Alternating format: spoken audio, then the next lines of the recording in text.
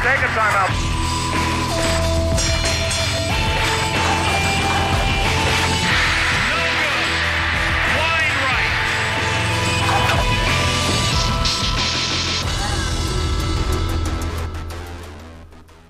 Hi, I'm Brian Kenny, and welcome to ESPN Classic's Top 5 Reasons You Can't Blame, a series that takes a fresh look at sports personalities who are remembered largely for their mistakes, controversial moments, or questionable decisions. For much of the brisk winter day in Denver, it looked like the Cleveland Browns would be frozen out of a Super Bowl bid for the 22nd straight year. But after an 18 point deficit was closed to just seven in the fourth quarter, Browns running back Earnest Byner was heading toward the end zone. But when Byner fumbled just three yards short of glory, he instantly became one of Cleveland's most reviled sports goats.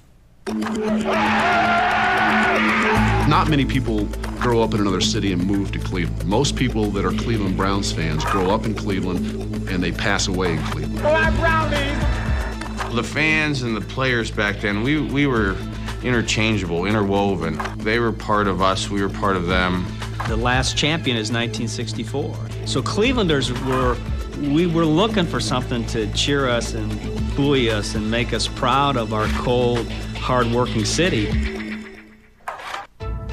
Stoking the Browns' Super Bowl expectations in the 1987 season was their near miss a year earlier, leading the Broncos 20 to 13 with five and a half minutes left in the fourth quarter of the AFC title game. Cleveland's defense set itself on Denver's two before a stadium shuddering 80,000 home fans. This Browns team is feeding off the emotion of this packed house. There's no way that the Denver Broncos was going to take and drive the length of the football field in our stadium, in our backyard. Nobody really thought we could do it. No one outside that huddle or on our sideline really thought that we. My wife turned the TV off. This is just so not like me to, to quit believing. But I thought it was over. Despite Janet's lack of faith, her husband took his team to the Browns' five yard line and, with 42 seconds left, set himself to receive the snap. At the five, third and one. You always worry about down there but getting the ball tipped and having, you know, getting it intercepted. And so I never threw a ball as hard as I threw that one. Touchdown, Mark Jackson. It was just a, a hair above Carl Hairston's outstretched hand. It, would, it deflected, the game would have been over. But it wasn't meant to be, but it was a horrifying experience. What if, you know, we could have got that hand on that ball? That's us in the Super Bowl. 548 into the overtime, the Browns' quest for their first Super Bowl appearance ended. It's on the way. And I remember after the uh, game talking with Mike Johnson, you know, and the, the toughest part of it is the amount of work you have to do just to get back to that point again to be able to go further. But the Browns regrouped in 1987 to win a third straight AFC Central title.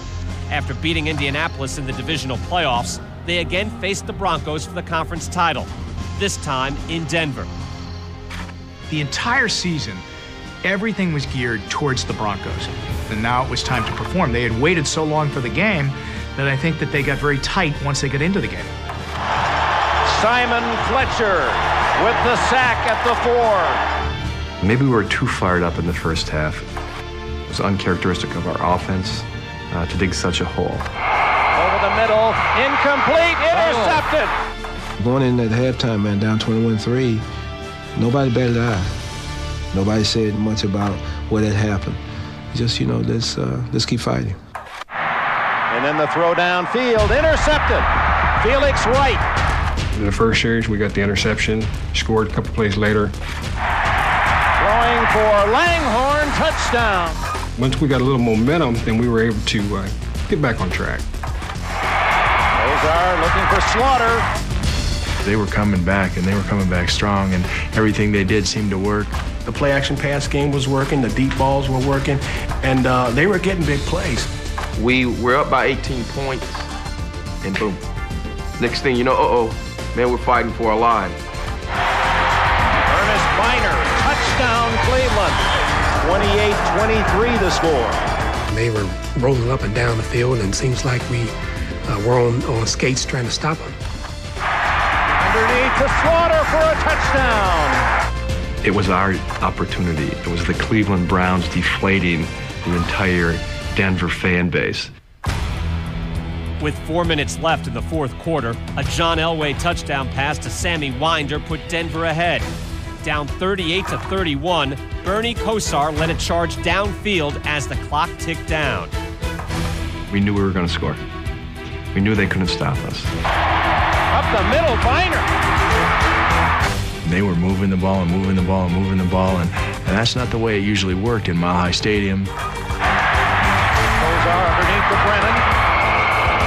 Bucks in with a first down at the 44 of Denver.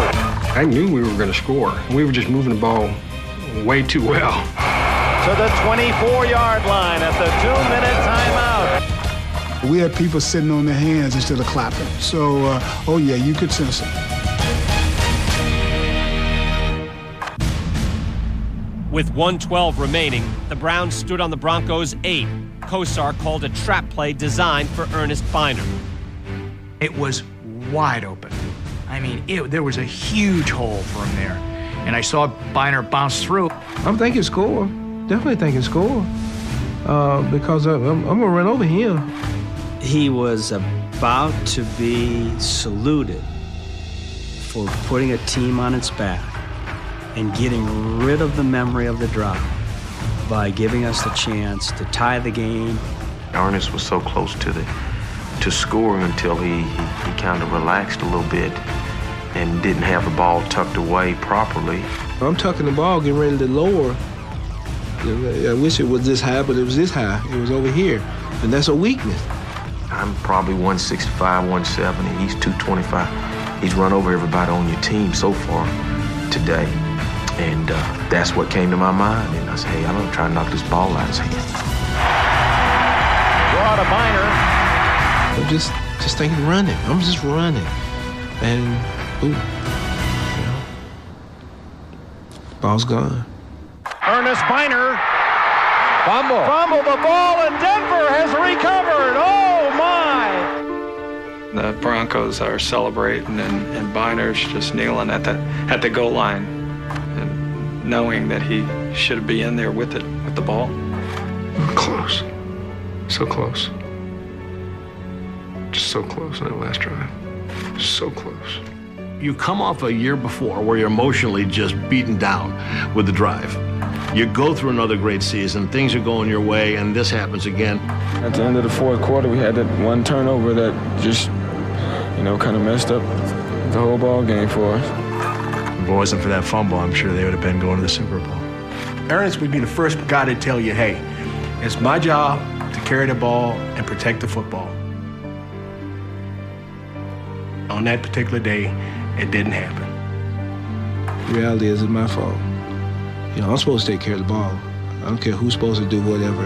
It, the responsibility is mine. Careers are made and legacies are broken on one play. And Earnest will always be a great player, but he gave it up at that one moment, and he, more than anybody, knew ball security was the key. I was representing everybody that was a Cleveland fan, all my players, my coaches that believed in me, and I let them down.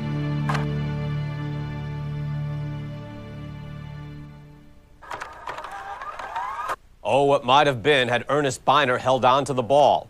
But every game is littered with what ifs. Before we begin our countdown of the top five reasons why you can't blame Byner, let's take a look at the best of the rest. Otto Graham. Beginning in 1946, the Hall of Fame quarterback led the Browns to 10 straight championship games, winning four All America Football Conference and three NFL titles. The real blame here lies with Otto Graham. Finally, the football gods said, "Hey, we're going to even this up here now. You know, you've been winning, just a little. We're going to, you know, Earnest Byner seems like a nice guy, but he's going to pay for all the sins of Otto Graham." He was called Automatic Otto, and he made things happen. The Browns won championship after championship. They were winners. They won all the time, and so you knew there was something in your life was going to go right once a week. Unfortunately for Earnest Byner, he was the uh, balancing stone in that particular situation in Cleveland. Another best of the rest is the 1987 NFL players' strike. It caused the regular 16 game schedule to be reduced to 15. It turns out that the game with Denver is the game that is canceled. There was a week there where we would have been playing in Cleveland. We played in Cleveland uh, and Cleveland would have beat us, then Cleveland would have had the home field advantage. At 10 and 5, Cleveland finished a half game behind the 10 4 and 1 Broncos. Forced to play away from their beloved dog pound, the Browns traveled to Mile High Stadium, where the Broncos had lost just one non strike game in 1987. Back at the time at Mile High Stadium, I mean, the fans were just so close to the field where uh, they would really, really uh, rash you, uh, beat up on you. I mean, tough, tough place to play. Here's reason number five Webster Slaughter, the second year receiver, failed to perform on the decisive play. What few people know is how the fumble occurred. The wide receiver's responsibility on the running play was either to block the defender, Jeremiah Castille, or if he was playing bump and run, run up into the corner of the end zone and take him with him. Marty is right. I mean, Webster didn't do what he was supposed to do. Well, our wide receiver took two steps and stopped and looked back to watch the play. His job was to clear out.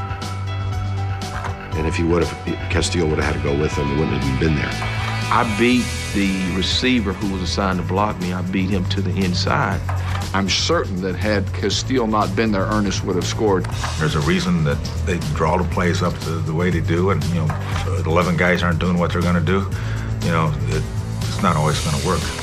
You talk about why this is it not Earnest's fault? If we'd have done what we was exactly was supposed to do and run the guy to the back of the end zone, then maybe he wouldn't have had a chance to react up like he did. Webster Slaughter on that play was Randy Moss before his time. Just watching the play. One reason down, four to go. Here's reason number four John Elway. Even if Byner had scored, the Broncos quarterback would have had a minute to respond with an answering drive. I think Lore has sort of developed that into thinking that was the winning touchdown. It would have been a tying touchdown. We still had to stop him again. Even as we were driving down to, to tie the game, you wondered whether it was going to be too much time left on the clock, and number seven Steele was going to get a chance to go back out there and do that hero thing. In only his fifth year, Elway had pulled off 15 of his NFL record 47 comebacks in the fourth quarter or overtime, including the one that crushed Cleveland's bid to make the Super Bowl a year earlier. Every time it just seemed like Elway had an answer for us. I mean, when we hit a big play, they would come on and do something to hit a big play. Wide open, Nattiel to the one yard line. John Elway was a beast against us. I mean, we just couldn't seem, couldn't seem to stop him. Elway looking for a bundle, gets away. Those eyes in the back of his helmet. There was nothing out there that gave you evidence that the Browns defense was going to be able to shut him down either. Looking for Sewell, instead goes to Mark Jackson, and he has a first down at the 42 as Denver's Elway trying to answer Cleveland's Kosar. 65 seconds for Elway is about 60 seconds too much. So I, I, I did not think the Browns were going to win that game. They couldn't stop Elway. They couldn't, you know, they couldn't get to him. They, it would have been the same thing as the year before.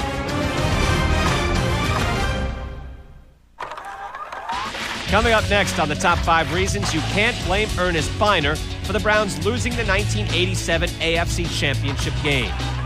To see us turning the ball over, it was so unlike a Marty Schottenheimer Cleveland Browns team. Reasons you can't blame Earnest Byner for the Browns losing the 1987 AFC Championship game. Here's reason number three other turnovers. Despite having committed the fewest turnovers in the league over the past two seasons, the Browns gave it up three times in the first half. Marty Schottenheimer basically said the only way we could lose this football game was by turning the football over. Over the middle, incomplete, intercepted. When you give a good offense like that, only 20, 30 yards to score, it makes it tough on your defense. He throws wide open, touchdown. We were always, always focused on trying to get the turnover, and we live by the turnover at Denver. Fumbles. Broncos have their second turnover midway through this first quarter. We don't get one of those turnovers. We don't get the fumble and we don't get the interception. Uh, we don't win. we lost the football game in the first quarter. Those two turnovers was huge. After two turnovers in two possessions, the Browns trailed 14 to nothing, but they weren't done coughing it up. Will be down? I don't think so. I think they're going to call a fumble. Yes. It was unbelievable that we could not get anything done the first half in that ball game. For us to uh, to come out and turn the ball over like we did uh, in that half was very uncharacteristic. Not that Earnest didn't get it done, we didn't get it done. Have we begun to change your mind yet? If not, take a look at reason number two. Dog defense. After giving up an average of 16 points a game, second best in the NFL, the Browns defense played like puppies. The defense lost the game when you when you get right down to it. You're not going to win too many games giving up 38 points. People only remember the ball being stripped going across the goal line. They don't remember us giving up 20 some points in the first half. They were so focused in, all of them, 11 of them on defense, focused in on number seven, that they forgot to play some of the other people. Gene Lang to the 10 yard line. You get a lot of guys saying, you know what, I'll make up for it. You know, I'll go make that play. You know, and so you start seeing guys not being in position. Reverse Sewell, no one there for Cleveland. We wasn't containing him. We were getting upfield. And again, not the way the defense uh, is designed to be played. Down 21 3 at halftime, the Browns scored on their first possession in the third quarter to close to 21 10. We thought things were going to turn around for us. And then uh, Elway comes down and hits Mark Jackson, maybe 10 or 15 yard route. We had him in the pocket. We didn't make the play. Completes to Jackson who gets a first down and more. We had him short of the first down. We missed the tackle. I thought I was a pretty sure tackle, and I remember missing it. He may go all the way. Touchdown. So that's a smack right back in the mouth. We didn't play the way we were capable of play, play, and we definitely didn't tackle the way we were capable of tackling.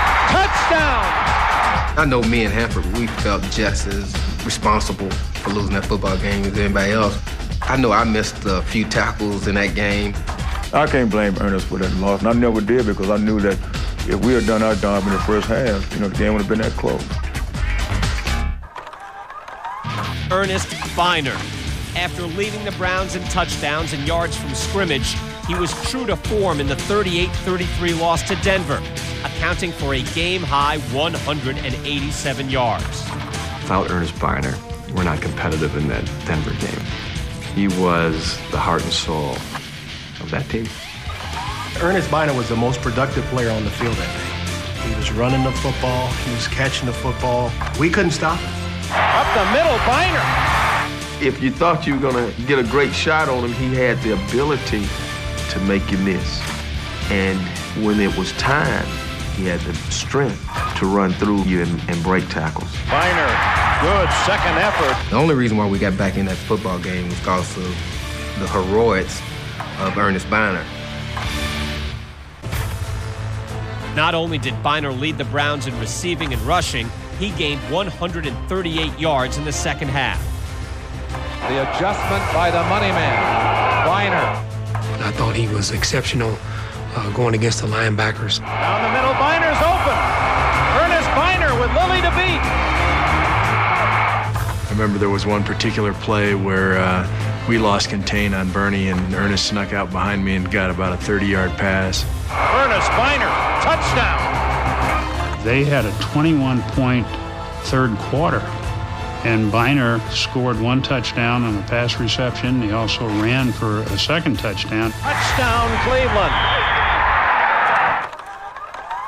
To tell you the truth, it was the best game I ever played. I mean, I could, I was so quick, so uh, making people miss. It's one of those flow moments, or moments where things just almost happen in slow motion. I always think of that game uh, not about the loss, not about Denver or Elway, but frankly about Earnest Byner, whose performance that day was absolutely astonishing. I'm sure everybody in Cleveland and every Browns fan around the world was saying, Holy cow, look at that little tough running back carry us. I mean, he was the hero. To put the, the burden of one game on one play when a guy does so much to get them back in a position where they have that opportunity to uh, close the deal, yeah, that's one of the most unjust things in the world.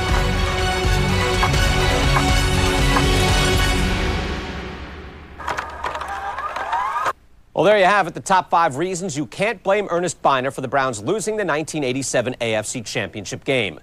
For Cleveland fans, it may take a Super Bowl victory to ease the pain, but we hope we have at least erased some of the blame on Earnest Byner. I'm Brian Kenny. Thanks for joining us.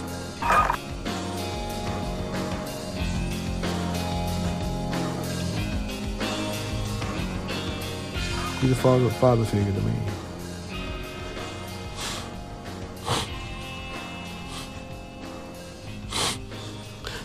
I mean, I love, love those guys, man. 'cause It, it was real. It's real, man. 'cause, uh, if it wasn't, if it wasn't for the, the type of support that I got from a lot of those guys, I don't know. I don't know. Probably could have made it.